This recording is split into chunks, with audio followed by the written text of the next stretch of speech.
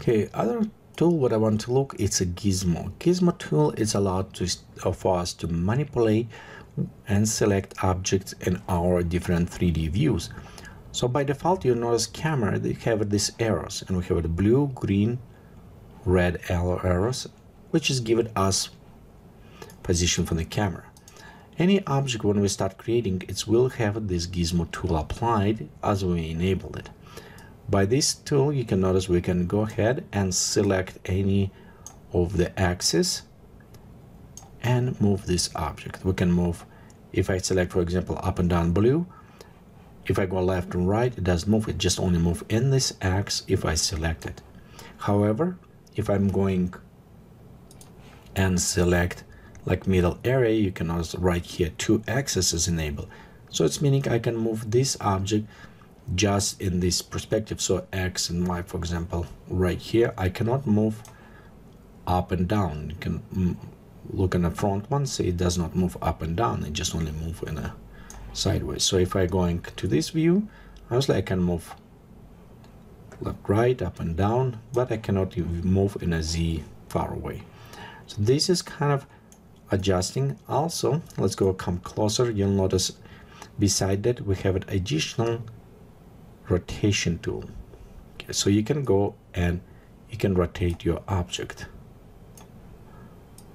For example we can go ahead and rotate. If you want to rotate with a lock you can always hold down shift. And in this case it's kind of will lock with a specific degrees. How many degree of rotation? We can always go inside the file options and inside units and coordinates you can specify what units and how much on a um, position you want to do this. Okay also this is kind of universal. It's applied for us. We can scale. We can shrink skew in different areas that also allowed us to rotate Beside that, we have a specific tool. If, for example, you have a hard time to rotate, you can always select from world browser.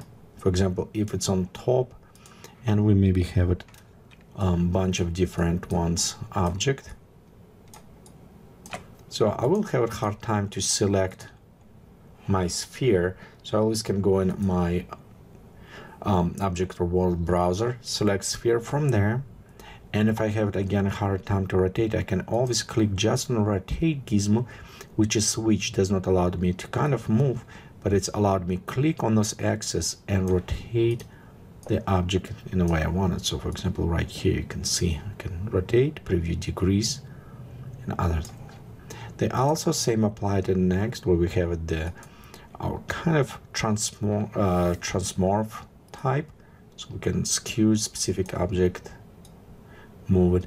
And you notice again you still have it your kind of rotation tools scale and moving capability in some cases. So it will provide to some but it will help you um, to do some scaling and other things on this. In many cases I found out for me just universal first tool will work just fine. So I can do preview all of this created from one tool. But just know right here you have options to switch on different. You also have it how orientated is your um, gizmo. So currently right now in the view you can see it's go straight forward up and side. We can always switch to the parent local global and view view. It will help you when you inside the camera. And for example you want to move left and right related to this view so you can select V on this case is go will horizontal only against view, even your camera may be skew or other things. Again, in many cases, global will work just fine, except when you use a transformer, maybe, and your object is readjust, so you maybe want to switch to the local position, not to the global. Again, this is just overview of the Gizmo tool. When we go more inside the um, working with a scenery, set up everything, you will notice that um, you can adjust your gizmo and get more used to this. But overall, it's very simple tool which allows us move and modify our object.